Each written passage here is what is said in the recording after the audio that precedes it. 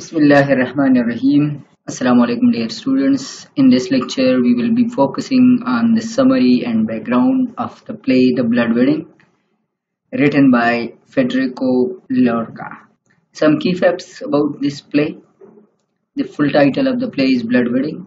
It has been written in 1932, published and first staged in 1933.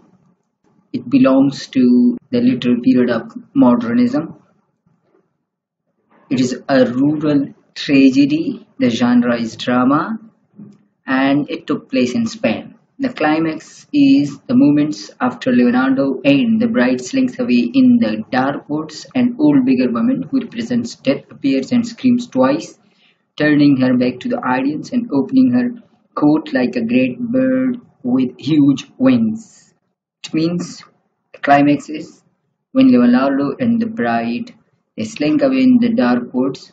It starts and then Leonardo and the bridegroom and the bride, these three are in the forest, two are dead in the end, and it's a tragedy. Okay, the historical context of the blood wedding. Although blood wedding presents itself as a work of realism, it is a work of realism. It becomes progressively symbolic. There are two symbols in this play that makes this play symbolic play. This is likely due to the influence on Lorca's work of symbolism, which emerged in the early 20th century. Symbolism was largely a reaction to naturalism. Naturalism was dominant literary philosophy and theory in literature and theater throughout the last decades of the 19th century when playwrights like Chekhov and Ibsen wrote many texts that examine the effect of external worlds on humans. Under symbolism, though, artists began exploring more abstract and figurative methods of depicting the human experience. What's more, the turn of the century also brought Cubism, Expressionism, and eventually Surrealism. Lorca was undoubtedly affected by all these movements, especially because he became close friends with the surrealist painter Salvador Dali and a number of other artists who were experimenting with how to present perspective and subjectivity in arts. Given these influences, it's unsurprising that the most climatic scenes in Blood Wedding draw upon highly symbolic and surreal techniques, with characters appearing on stage to represent the mood and death. Very symbolic characters, these are two symbols that makes the play, as I told you earlier, symbolic.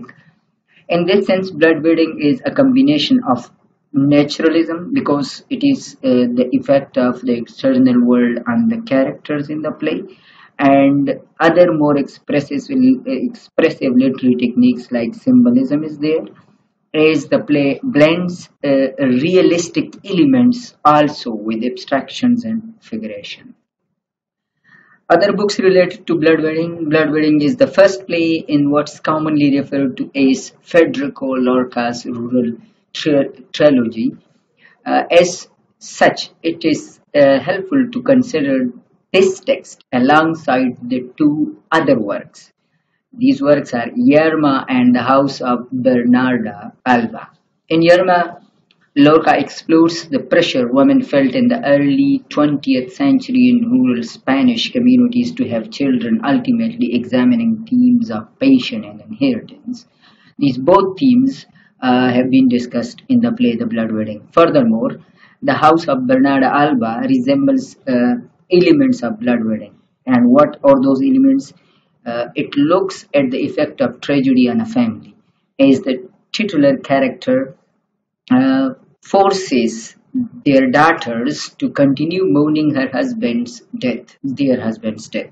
Also, given the blood wedding is a play about feuding families and forbidden love, there is a clear parallel between this play and Shakespeare's Romeo and Juliet, which is perhaps the most famous works about revenge and clandestine affairs.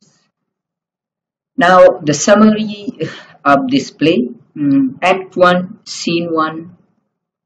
A young man referred to simply as the bridegroom enters his home and he tells his mother that he is going out to cut some grapes from the vineyard. This makes his mother anxious, as she curses the invention of knives and anything that can cut a man's body. Why? Because she reminisces about the death of the bridegroom's father and brother, both of whom were murdered by uh, a family in this play, Felix uh, family. She complains about the fact that the murderers have only been imprisoned and thus they are still alive, a punishment she finds unsatisfactory for these killers, murderers. Are you going to stop? asked the bridegroom, wanting to change the subject, though she continues to talk about violence and death, saying she doesn't like it when he leaves the leaves the house because she fears something will happen to him like his father and brother. Eventually, the bridegroom succeeds in distracting her by talking about his plans to get married. When he brings this up, his mother expresses her happiness for him, though she points out that she doesn't know the young woman and that the entire audience is moving quite fast. Still, she says she knows the bride is good and she agrees to meet her and her father that Sunday to make the wedding plans official. When the bridegroom leaves, a neighbor enters and speaks of, to his mother. Now look at this discussion. Who asks if she knows anything about the girl her son is about to marry? And the neighbor explains that the bride is an attractive young woman who lives far away with her father. The problem is her her mother is dead. The neighbor says, adding that her mother never loved her husband. The other thing she adds, she informs the bridegroom's mother that the bride was in a serious relationship with Leonardo Felix. In fact, they almost got married, but then Leonardo ended up marrying the girl's cousin. Hearing this, the old woman is distraught, bemoaning the fact that her son's bride has been associated with Felix's family, but the neighbor tells her to be uh, uh, reasonable, pointing out that Leonardo was only eight years old when the violence between their families took place, so now don't worry about these matters. The act one scene two starts that Leonardo's wife and mother-in-law they are trying to quiet Leonardo's babies by singing about a horse who's uh, who refuses to drink from a stream because its hooves are bleeding into the water. Not long after the baby finally goes down, Leonardo enters and claims that he's be, he has been at the blacksmith getting new horse shoes since his horse frequently ruins his shoes. When his wife suggests that this happens because he overworks the horse, Leonardo claims that he hardly ever rides him. However, his wife says that her neighbor claimed to have seen him the previous day on the other side of the plains, which is quite far away. Nevertheless, Leonardo denies this, though his mother-in-law catches a glimpse of horse and points out that it looks as if it has come from the end of the world. Seeing her husband's anger mount, the wife changes the subject by telling him that the bridegroom is asking for her cousin's hand in the marriage. Now he comes to know that the bride is going to marry to the bridegroom. Unfortunately, though, this only puts him in a worse mood. When his mother-in-law suggests that the bridegroom's mother isn't very happy about the wedding, he says that one needs watching, referring to the bride. Just then a young girl enters and tells them that she saw the bridegroom and his mother buying extravagant gifts for the bride, and when she begins to describe the stockings they bought, Leonardo snaps at her, saying, We couldn't care less. He then storms out of the house, waking the baby as he goes, because he got angry. It's Sunday, the bridegroom and his mother travel four hours to meet with the bride and her father. When the father enters, he immediately begins talking about his land proudly saying that he has had to punish it in order to make it yield esparto carbs since it's so dry. Hearing how interested in, in land he is, the bridegroom's mother assures him that they won't be asking for anything in the way of a dowry, since their vineyards are already so prosperous. The father then fantasizes about joining their land, saying he would love to see all the property together, which would be a thing of beauty. Going on, the two parents agree that the wedding should take place on the following Thursday, which is also the bride's 22nd birthday. That's what my son would have been if he were still alive, the mother notes. But the father tells her not to dwell on such morbid matters, though she assures him she will think about it every minute until she dies. Before long, the bride enters and accepts the gift from the bridegroom's mother. As she does so, the mother notices that she's quite solemn. So she takes her chin in her hand and says, You know what's getting married is, child? When the bride says she does, the bridegroom's mother lists what she believes marriage entails, saying, A man, children, and is for the rest a wall that's two feet thick. Agreeing with this, the bride says, I know my duty, and the bridegrooms and his mother take their leave.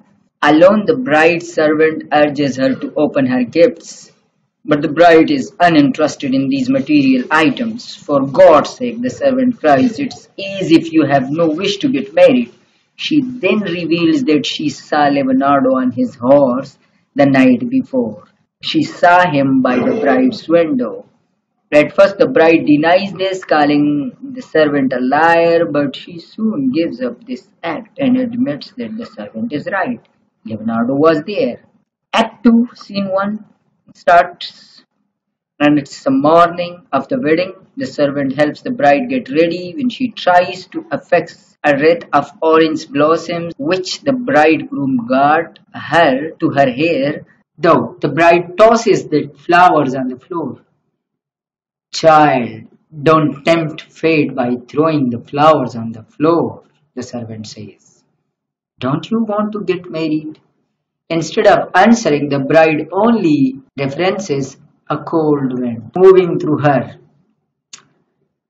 Though she then says she loves the bridegroom, but it's a very big step. She adds, This is a very big step. She still loves Leonardo. That's why she does not take care of the flowers and she is not interested in this marriage. Shortly thereafter, Leonardo arrives and enters the room. He is the first wedding guest to come, and the servant tells the bride not to let him see her in her undergarments. Though she ignores this and has an intense conversation with Leonardo, who notes that the bridegroom should have gotten her a smaller orange blossom which would suit her better. They then fall into impassioned argument about the fact that the bride refused to marry Leonardo when they were together because he was not rich enough. Now this is they are discussing their past, why didn't they marry each other? And she says because he was not rich. As a result, Leonardo married her cousin, but he has never stopped thinking about the bride. Now, though he knows he must tell her how he feels about her, since she is about to marry, to keep quiet and burn is the greatest punishment we can heap upon ourselves. He says when she tells him her plan to shut herself away with the bridegroom and loves him above everything. And though she wants to remain strong, she says she loves the bridegroom. She admits that the mere sound of his voice weakens her willpower, at which point the servant forces Leonardo to leave. Soon enough, the bridegroom and the wedding guests stream into the house, going to her future husband. The bride expresses her desire to speed the wedding along, saying, I want to be your wife and be alone with you and not to hear any other voice but yours. Why be, he, she is in a hurry? Because she wants to avoid thinking about Leonardo. She also says she wants him to hold her so tightly that she won't be able to free herself because her passion of love forces her to free herself from this wedding. Thus, she wants her husband to hold her tightly so that she won't be able to free herself even if she want to. With this, the couple sets out for the church and guests sing about the joyous occasion as they follow. When everybody is gone, Leonardo's wife expresses her frustration that he doesn't seem to care about her. She knows her husband is in love with the bride, indicating that she knows she is being thrown aside by her husband, though he does nothing to make her feel better.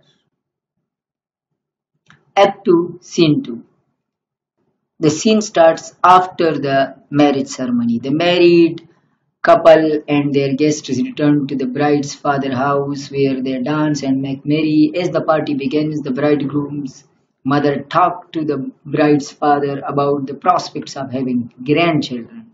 The father, for his part, is especially excited for his son to have children, since this will mean he will have more people to work on his farm without wages. As happy conversations like these take place, the bride remains sullen and unenthusiastic, eventually excusing herself to lie down because she has a headache.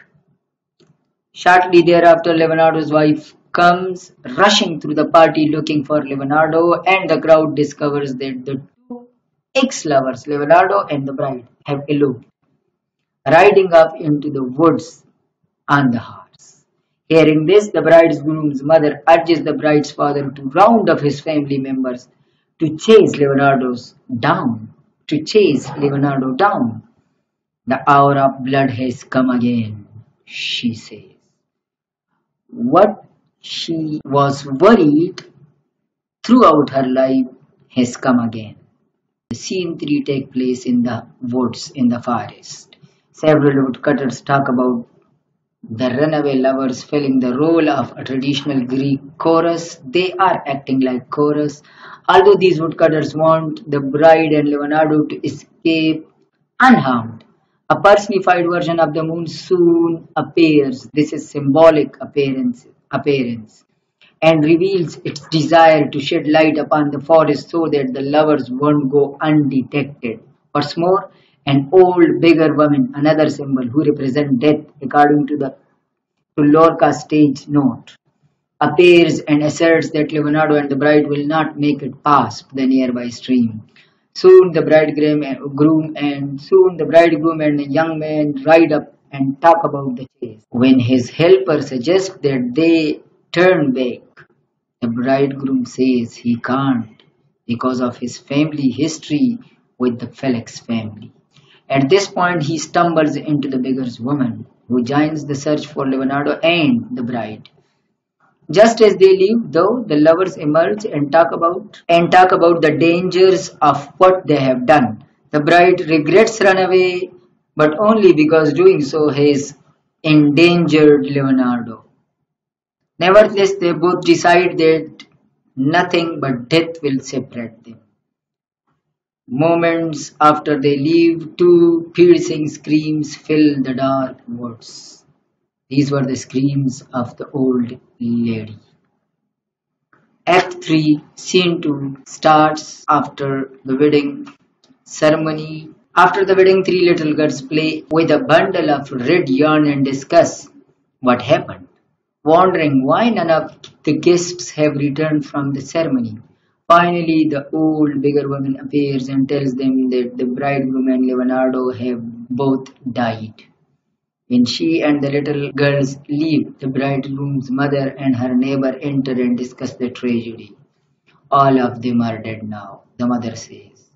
At midnight I'll sleep. I'll sleep and not to be afraid of a gun or a knife.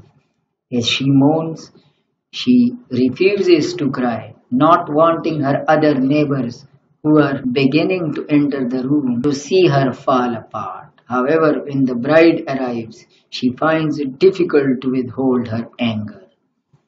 You would have gone too.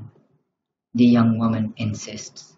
I was a woman burning, full of pain inside and out, and your son was a tiny drop of water that I hoped would give me children, land, health. Continuing, she says that Leonardo was like a dark river that swept her away. Such beautiful dialogues. Unable to stop herself, the bridegroom's mother slaps the bride, who readily accepts this punishment, telling the old woman that she merely wants to weep with her. As such, the bridegroom's mother says she can cry by the door, admitting that nothing matters to her anymore. At this point, the two women begin to speak in verse, trading lines and bemoaning the loss of their loved ones as people file and sob. Now let's discuss a brief biography of Federico Garcia Lorca. Lorca's father was a successful farmer married to a teacher. They together raised four children, for which Federico Lorca was the eldest. When the author was 10 years old, the family moved to Granada. When Lorca enrolled, where Lorca enrolled in a Catholic school as well as a secular institute run by a Roman Catholic church. Later, Lorca attended the University of Granada, where it took him nine years to earn a degree on account of his unimpressive schoolwork. An, impress, an impassioned pianist, he traded music for writing when he was a young man, eventually befriending several artists, including filmmaker Luis Buñuel and painter Salvador Dali. In 1919, he wrote his first play, The Butterfly's Evil Spell, which was composed in verse. Unfortunately, it was largely made fun by the critics and thus only run for shows. In the 1920 Lorca became associated with Spanish avant-garde scene, publishing both poetry and plays, including Gypsy Ballads, his most popular poetry collection, which came in 1928. After a brief stint in New York City in 1929, the author returned to Spain during Primo de Rivera's dictatorial rule, at which point he began touring as an actor and director of a theater troupe that brought plays, plays to rural communities throughout the country. It was during this period that he penned three plays that are known as Rural tri- Trilogy, which includes Blood Wedding, Yerma, and The House of Bernarda Alba. As he presented these plays, he became known for his socialist beliefs because of Spanish fascist government at the time, though he was arrested in 1936 on the same day that his brother-in-law was assassinated after having accepted the position of mayor in Granada. It is said that Lorca himself was assassinated for political reasons the following day, though some people uphold that there were other factors that contributed to his execution. This was all about the play, The Blood Wedding. Thank you so much.